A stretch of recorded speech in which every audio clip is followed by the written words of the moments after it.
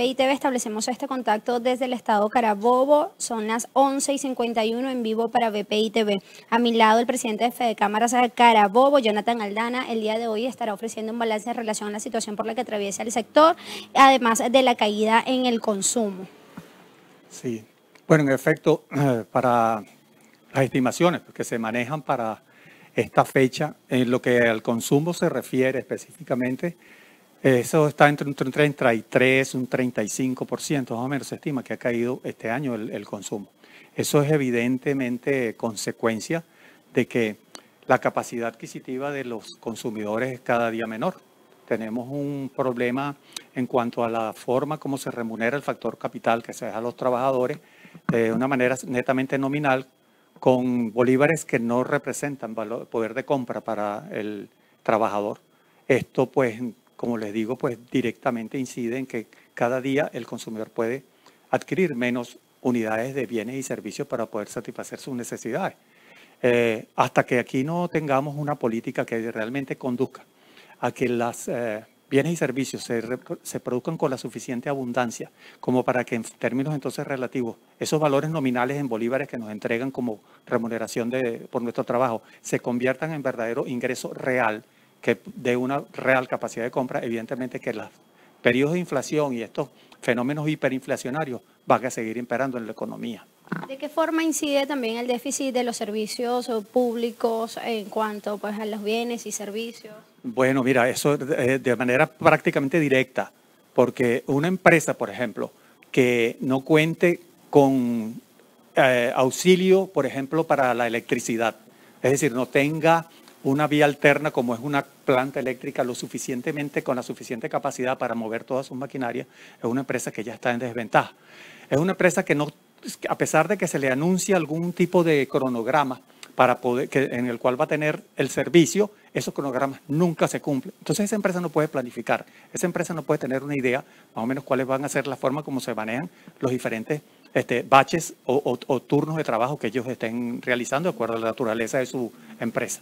Eso crea gran incertidumbre y por supuesto la tendencia es que mientras no tengas cómo sustituir a la energía, tú tendrás horas de paralización.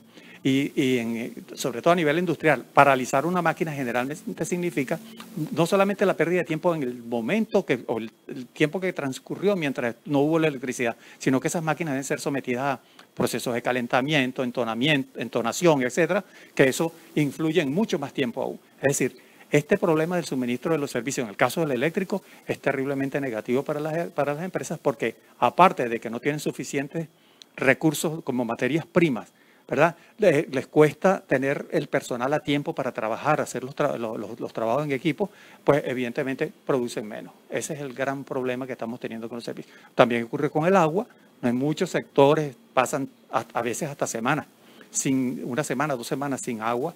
Este, ocurre, bueno, las comunicaciones, pues, internet, la, telefonía, evidentemente que en unas condiciones de servicios tan desventajosas como tienen las empresas venezolanas, el nivel de productividad cada día es menor. Está transcurriendo ya el último trimestre del año. ¿Cómo está el sector en cuanto a la importación en el país? ¿Cuánto se está importando? Primero de, insumos básicos y teniendo en cuenta que, que vienen las fechas de sembrina ¿Qué, se está importando precisamente para estas fechas y a cuánto va a poder acceder el venezolano? Sí, aún eh, este, nosotros estamos haciendo nuestros contactos a, nivel de las cámaras nuestras que tienen que ver con ese sector ¿no? de, este, de importación. En el caso nuestro, la Cámara de, Comercio de Puerto Cabello. Eh, ya se están notando, no te puedo decir cifras exactas, pero ya se está notando un cierto movimiento de mercancías que se establecen o se, estiman que van a venir a reforzar un poco la, la época de diciembre. ¿no? Sin embargo, esas son cantidades relativamente pocas, ¿no? Y esto se ha logrado es gracias a que cierta, eh, un grupo de empresarios del sector privado se han, han, hecho los sacrificios, han hecho los contactos para traer algo de producto, ya que el gobierno de una manera que nosotros la llamamos abierto a la economía de facto, en el sentido de que ha permitido que se traigan algunos suministros, algunas materias primas, inclusive algunos productos terminados, que, inclusive ese ha sido el mayor porcentaje de productos terminados para dotar un poco los anaqueles en, las empresas. Y ustedes lo han notado, pues que si hay cierto eh, abastecimiento, vamos a decirlo así, producto de esas medidas, eh, importando sin aranceles, importando sin muchas trabas, sino que están dejando entrar prácticamente cualquier cantidad de bienes. Eso eh, tiene esa ventaja, que se ha logrado eh, un poco más de, suplir pues, a, las empresas. Sin embargo, tenemos la paradoja, o el caso contrario, de que la, mayoría de las personas no tienen el suficiente poder de compra como para adquirir esos bienes a esos precios, que son unos precios que normalmente no tienen una relación directa, inclusive con la forma como, con los niveles de productividad y con la forma como deberían crecer los precios en este país, sino que estamos bajo una influencia hiperinflacionaria donde es muy difícil planificar o predecir los precios. Siempre los precios van a tender a, fijarse por, por encima o hacia el alza porque las, la forma como históricamente se ha, se ha comportado el valor de la divisa en Venezuela es tan errática, ¿verdad? y siempre errática, pero siempre tendiendo a, acrecentarse en valor. Entonces la idea es tratar de cubrirse para poder hacer reposiciones. Los empresarios no les queda más remedio que fijar una tasa que les permita cubrir esa reposición posteriormente. ¿Se ha podido acceder a la importación de materia prima? Mira, no, no muy poco. Realmente no está llegando mucha materia prima. Lo que está llegando más es em, productos terminados. Está llegando algo de productos como arroz, ¿verdad? Que sí, sirven para, consumo, pero también sirven para materia prima para otros mm, tipos de alimentos, normalmente procesados a nivel de la agroindustria. Y algunos eh, este, granos también, tipos de granos han llegado. Lamentablemente aún no tenemos, estamos haciendo ese estudio, estamos haciendo estudio para poder brindar una, una, una mejor noción pues, de cuántas son esas eh, cantidades que se están manejando.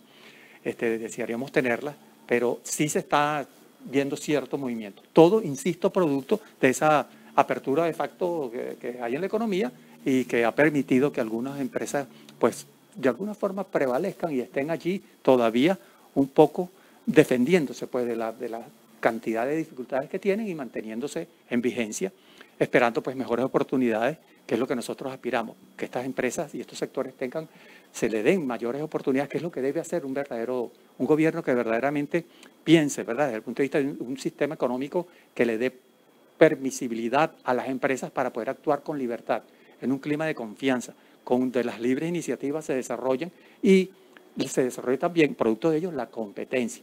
Cuando hay competencia en una economía, los precios tienden a estabilizarse. ¿Por qué? Porque esas mismas, esas mismas personas que producen los mismos bienes y servicios compiten entre ellos y tienden, ¿verdad?, a dar precios más competitivos para los consumidores. Aquí en Venezuela no tenemos esas condiciones, por lo tanto, mientras no tengamos esas condiciones, precios competitivos para los consumidores no va a haber.